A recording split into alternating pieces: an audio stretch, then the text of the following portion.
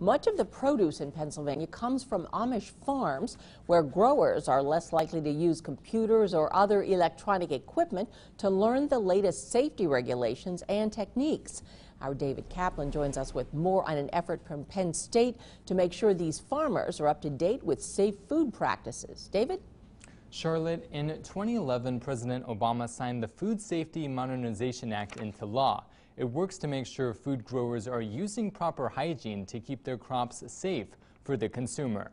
Penn State professor of food sciences Luke LaBorde says it's difficult to share this information with Amish farmers the same way it's presented to others. There are some that would not want you to put on a workshop with a computer-based PowerPoint projection kind of thing. And so they would rather have it in written form. That's when Penn State Extension made this three-ring binder with a written text of the safety rules and pictures demonstrating them. What if you get sick?